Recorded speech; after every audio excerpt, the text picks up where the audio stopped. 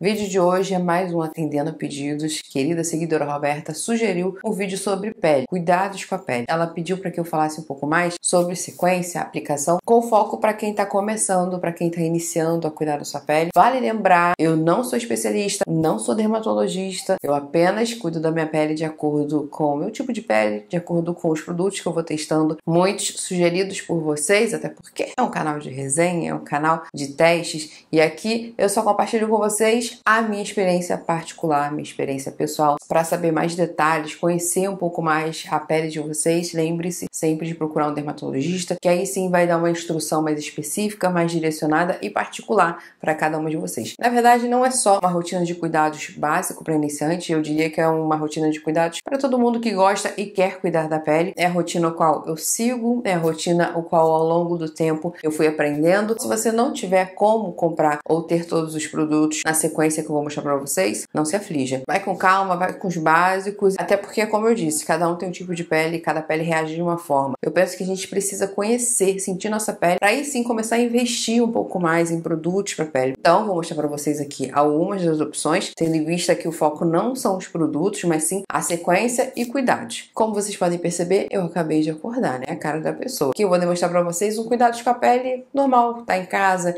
início do dia, rotina da manhã, antes de trabalhar antes de sair, ou então até para ficar em casa. Caso você esteja maquiada e quer limpar e seguir uma sequência de cuidados, só iniciar com o seu demaquilante favorito. Aí você demaquila toda a maquiagem. Em seguida, o primeiro passo, sabonete facial. Comece limpando a pele com o sabonete facial. Seja no banho, seja na pia. Escolha um sabonete facial indicado para sua pele ou da sua preferência. Faz aquela limpeza ali normal de sabonete facial. Esse é um tipo de produto que eu mais gosto. É um produto assim que eu sou muito apegada. E sempre que tem novidade de sabonete facial, eu vou lá e compro para poder poder testar. Falo aqui de uma pele mista, minha pele já foi bem mais seca. Ao redor da minha pele, assim, é um pouco mais seca para normal. E tendo a zona T com mais oleosidade, onde tem mais brilho, onde fica mais oleoso. Falando de custo-benefício, inclusive são opções que eu uso bastante. Tem esse controle de brilho de poros da Avon, que eu acho uma ótima opção. Tem aqui da Garnier, versão da Dove. Dove é uma opção de sabonete hidratante, mas deixa a pele bem sequinha. Esse aqui é específico para pele normal, sensível, seca. Só um pouquinho dele já rende absurdamente. Assim como acontece com essa versão da Garnier, os dois têm a mesma textura, ao meu entender. Esse já tem a promessa de efeito mate. Tem vitamina C, purifica, uniformiza e reduz marcas. Tem outro aqui que é mais específico para pele oleosa, mas eu não tive problema utilizá-lo não. O famoso laranjinha Actine. Tem vídeo aqui no canal também para pele acneica. Combate a acne, oleosidade, desobstrui os poros, elimina a oleosidade, limpa a pele, que é uma beleza. E esses dias eu tava usando ainda mais por conta do... Até comentei com vocês. Aí eu senti um pouco de cravo, espinha depois de usar um produto. E aí eu passei a usar ele com mais frequência né? Após essa limpeza com sabonete facial, vem um tônico adstringente.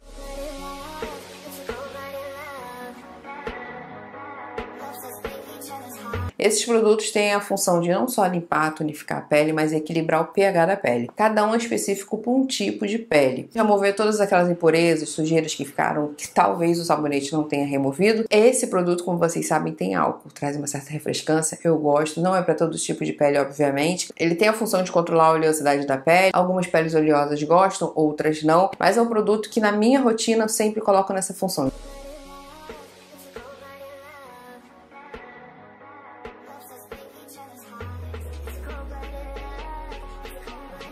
Tem muitas outras opções no mercado. Vale lembrar sempre se atentar nessa questão do tipo de pele. Hoje em dia a gente tem água micelar que tem essa função de tonificar. Essa da Garnier especificamente, ela não diz, né? Ela não toca nesse ponto, mas a maioria sim. Aqui diz só que limpa, demaquila, hidrata e uniformiza a pele com efeito mate tendo vitamina C. Tenho aqui da Nupil, que é uma versão com vitamina C, esse já é um tônico específico, essa versão miniatura. É uma opção também que entra na categoria ali de mais em conta e tem uma ótima atuação. Esse aqui diz que é uma loção tônica clareadora, ele tem vitamina C, tem a função de não só tonificar como clarear a pele. É um clarear bem suave, gente, nada muito milagroso. Mais uma opção, assim como muitas outras, e você inclui nessa fase base logo em seguida do sabonete facial. Passou o tônico, espera alguns minutinhos a pele absorver, está preparada para em seguida para o terceiro passo, que é a aplicação do hidratante facial. No mercado atual, a gente tem diversas opções de hidratantes para todos os tipos de pele, e aí é só escolher. Eu comecei a hidratar minha pele há muito tempo atrás com Nivea da latinha azul. Muitas de vocês com certeza conhecem. Era um dos únicos produtos, se eu não me engano, da Nivea que vendia na drogaria e na farmácia. Hoje está trazendo cada vez mais opções para o mercado brasileiro, finalmente. Não fique fiquei por muito tempo com a versão da latinha azul, porque eu sentia que minha pele ficava muito pesada. Essa é uma versão de textura muito densa e é específico para quem tem pele seca. Como eu tinha a pele um pouco mais seca, eu tinha necessidade de utilizá-lo. Mas durante o dia eu não achava uma opção muito legal, porque na minha pele ele pesava demais. E aí, de uns tempos para cá, depois de algumas dicas de vocês, eu passei a utilizar mais na olheira, com cuidado. Mas para hidratar de fato essa região que eu tenho mais sequinha, mais enrugadinha. Já que eu entrei nesse assunto olhos, eu não vou focar muito nesse vídeo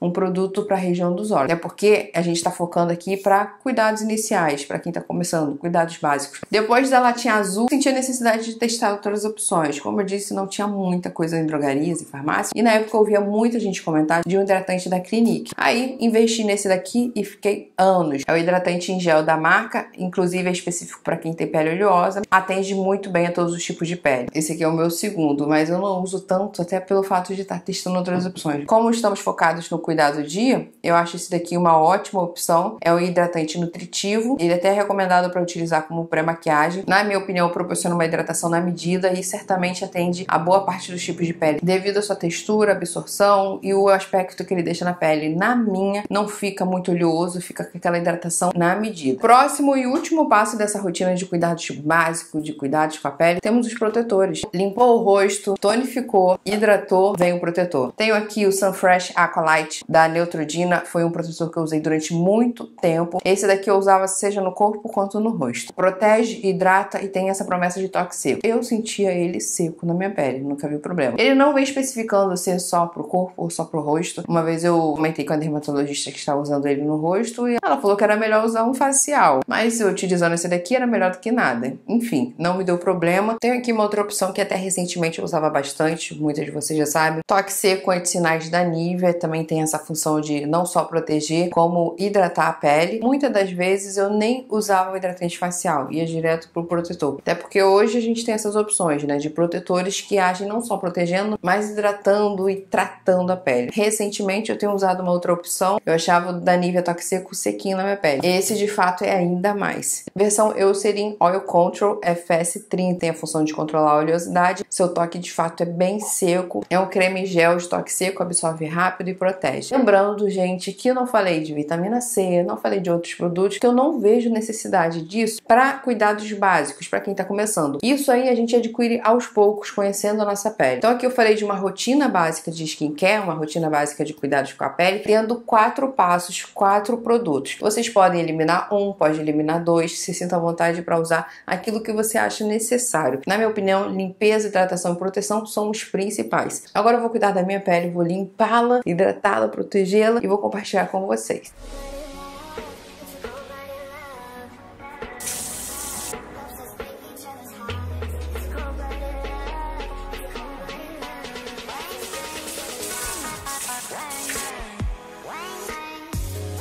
Logo em seguida do sabonete facial, você também pode utilizar um esfoliante. E o esfoliante meio que tem a função de dar aquele plus na limpeza. Ele remove as células mortas, renova a estrutura da pele, só que não é um produto de uso diário, apesar de hoje em dia termos sabonetes faciais com essa função também de esfoliante. Produto que você usa mais restritamente, uma vez na semana, a cada 15 dias, dependendo do tipo de pele. Sendo que eu não vou focar muito em esfoliante, eu não vejo algo como muito necessário para todos os tipos de pele. Para início, eu já considero o sabonete facial o suficiente.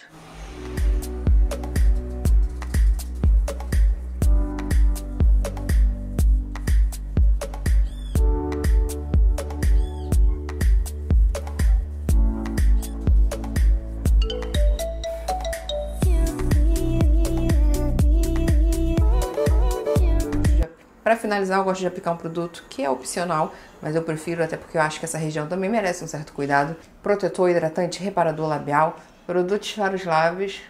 Meus lábios, inclusive, são extremamente ressecados e eles dão sinais, principalmente quando eu bebo pouca água ou quando uso muito batom mate. Gosto da sensação e atuação nos lábios. Esse aqui é uma miniatura da Lab. E esse foi o vídeo de hoje. Espero ter ajudado de alguma forma. Se gostou desse vídeo, não se esqueça. Deixa aqui seu gostei, se inscreva no canal e a gente se encontra no próximo vídeo. Grande beijo, fique com Deus e obrigada pelo carinho. Tchau, tchau.